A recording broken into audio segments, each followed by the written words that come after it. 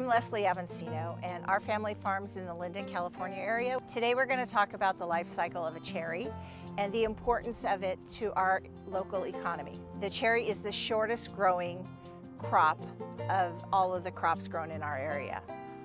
It grows basically from April until May and June when it gets harvested. Let's start at the beginning of the year in the winter time is when the trees are dormant. And dormancy usually goes from November to January. During that time, the trees are not dead. They are storing up energy. When the cherries come out of dormancy in February, they start budding. At that point, the farmers will take an estimate of the buds on the tree. When the farmers estimate the buds, they're doing this so that they can get an idea of the size of the crop and the equipment and preparation that is going to need to be done to harvest the crop. March is our bloom month. In the springtime when the flowers show up, there's an important part of the farming community and it happens to be the bee. He's the most important because he has to pollinate every single flower for there to be a cherry. If it's foggy, rainy, sleet, freezing, they don't like to come out of the boxes. And so your crop is in danger. If all goes well and the bees got to pollinate your crop, the petals start falling off of the trees and you'll start seeing little green buds that are cherries. They take another estimate on the green cherries. This is no guarantee that the green cherries on there are still going to be available to harvest when they're red. Some of the issues that can happen in between are weather related. If we get a hard wind or sleet or hail, they can get damaged. When the cherries are nearing ripening, sometimes the weather is not helpful, and so the farmers will assist the ripening process by laying down reflective plastic so that the, the light reflects up and underneath the crop and it makes it ripen quicker. When the cherries are ripe and on the trees, there still can be problems. If we get rain or hail when the cherries are ripe, there's a little crevice where the stem meets the cherry that acts like a little cup and it absorbs all the water.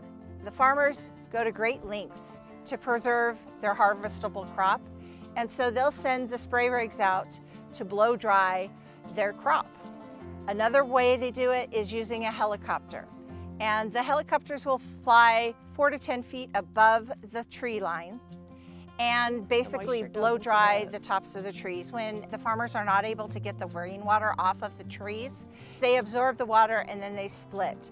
That makes them unmarketable. The pickers start showing up about 4.30 and as soon as it's bright enough outside to see, they start picking. They're given a bucket like this one and a punch card and they fill their buckets up and every time they get their buckets filled up, they punch their card. Picking is very hard work. This bucket here will hold about 10 pounds of cherries. So just imagine if you were carrying your mom's 10 pound bag of potatoes, how hard that is. Just imagine climbing up and down the ladders all day long with this bucket. When you're picking cherries, you want to leave the stems on. The fruit will last longer in your refrigerator, have a longer shelf life if the stems are attached. So when they're picking cherries, they have to pick them with the steps on. Once the cherries are harvested and dumped into the bigger tubs, they go to the packing shed. Hi, my name is Scott Brown. I'm the production manager at Morada Produce Company. We're a grower, packer, shipper of California cherries. So what is exciting about California cherries is that we're the first cherries harvested in the Northern Hemisphere every year. We've had a very cold winter this last year. That cold winter allowed all the trees to go fully to sleep or into dormancy. When cherry trees get a lot of sleep, they produce a very nice bloom. And so the good rest that the cherries got during the winter led to a very nice bloom, which has led to good pollination, which has led to a ton of cherries in the trees. Those bins are delivered to the packing facility where we begin cooling the cherries because that's gonna lead to a longer shelf life cold cherries stay fresher longer, and so it's very important to store your cherries in the refrigerator. We like picking the cherries really before the sun comes up or right as the sun is coming up because the cherries are still cool from the evening. And so we'll pick all morning long. Once it starts getting warm in the afternoon, we'll stop picking. The cherries tend to get a little bit softer and we can damage them. And so we'll pick on Monday morning, for example. We will bring those cherries to the packing facility. If we plan to export those cherries into different markets of the world, we'll need to fumigate them that night. The next morning, we bring them out of fumigation. We'll run them on Tuesday morning. By Tuesday night, they're getting on an airplane. And so they're flying over the ocean into markets all around the world where they're really in demand. Our job at the packing shed is to make sure that we maximize the value for all of the cherries that have been picked off of the tree by hand. And so it's very important that we separate every grower's fruit individually through the packing lines. Where that starts is at the bin dump. As we bring the cherries out of the cooler onto the processing line, we weigh every single bin. First thing we do is we submerge that bin into a tank of cold water, which very gently removes those cherries from the bin. Cherries that have sugar and are good quality will sink in water. Sticks, leaves, and cherries that don't have any sugar or white cherries will float to the top. And so that's the quickest way that we can separate those things away from the good fruit. California cherries are an amazing specialty crop in that the way that we process them, we produce very little, if not zero, byproducts. So I explained how sticks and leaves float to the surface of the water. We'll collect those up and put them into a bin, and then we'll take those out to a goat pasture or something like that to spread them, uh, just use as compost or as feed. Now, the other byproducts that we generate as a processing facility are little tiny undersized cherries. They're not big enough to really eat as a fresh product, and so we put those in a bin and then we send them off for juice. And so they'll go to a place that will crush them and take the cherry juice out of them and use it as an ingredient in other products.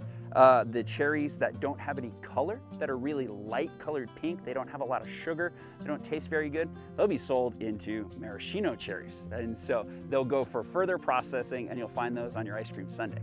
The other thing is we use a lot of water inside of the sheds. We clean the fruit with the water, and so it's very important to us that we do something with that water. We will pump it out of our packing lines into a pond on our property and irrigate our walnuts with it. That leads to the most important or the first step of the process being the cluster cutter. We need to separate the cherries from their clusters.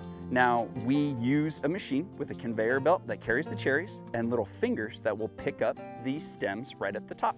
And then there's a saw blade that's spinning up here that will separate every individual cherry one by one so that they all have a stem.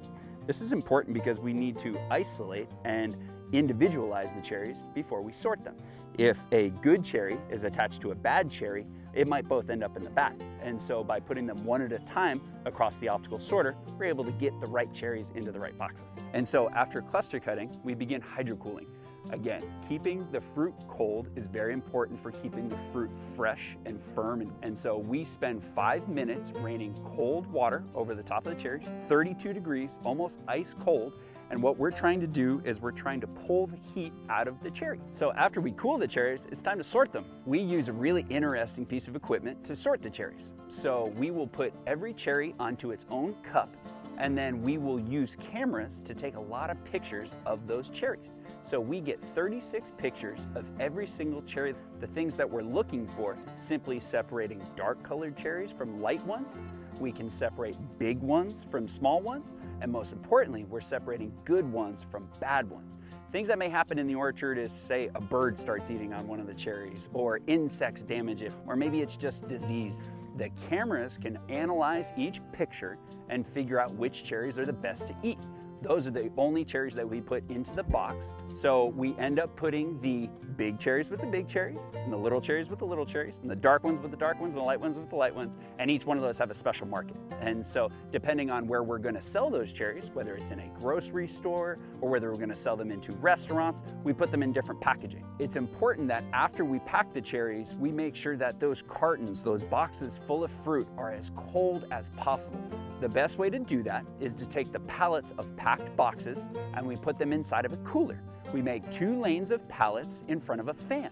We pull a tarp out over the top of those pallets to create a tunnel. Then when we turn that fan on, it sucks all the cold air out of the room through the cherries back into the refrigeration system, basically forcing that temperature down to 32 degrees before we ship them so that they last long. The reason the size of the cherry matters is because our customers like different size cherries. The larger ones um, go to our export market and for gourmet restaurants and high-end grocery stores. The ones over here tend to go to the regular grocery store that your mom and dad shop at. These smaller ones are for street vendors, farmers markets, and juicing. Each is a different price. Let's talk about the economy for a minute. When I talk about the economy, I'm talking about the importance of it and money in our local community. The crop that the farmers got paid for was worth over $88 million.